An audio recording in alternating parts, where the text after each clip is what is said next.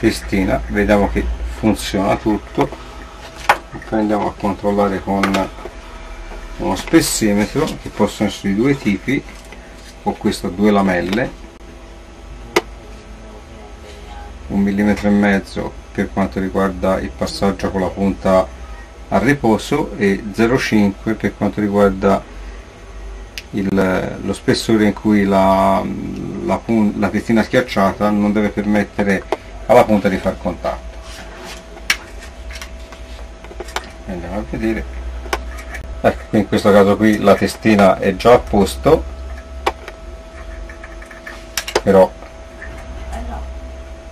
andiamo a vedere cosa può succedere se una testina ha il contatto più lungo. Ecco per esempio questa qui è il contatto più lungo.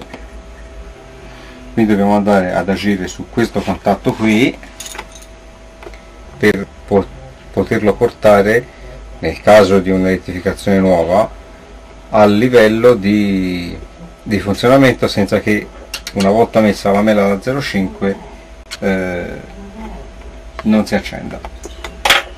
Quindi opereremo con una lima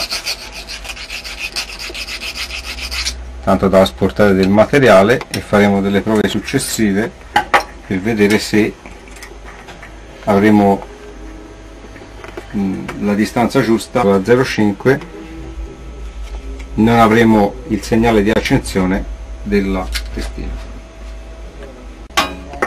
Controlliamo anche il peso quindi lo schiacciamo vediamo che la, si accende la, la, luce una volta lasciato si, eh, si spenge per cui anche per quanto riguarda il peso va tutto bene.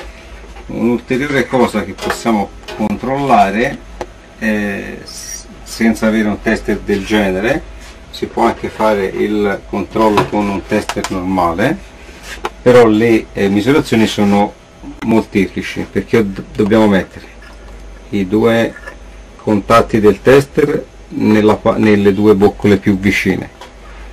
In questo modo vediamo se schiacciando la punta questa fa il contatto ma non è finito qui perché dobbiamo fare altri, delle altre prove.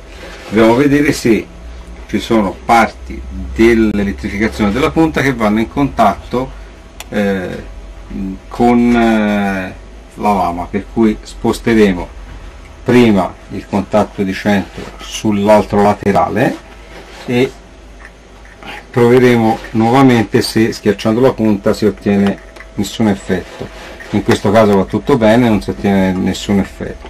E poi sposteremo l'altro contatto che avevamo lasciato su questa parte qui al centro e andremo a controllare queste due se funziona niente. E anche in questo caso va tutto bene perché non c'è nessun contatto. Perché a questo punto siamo sicuri anche con un tester e soltanto utilizzando i, i fili del tester che comunque la spada funziona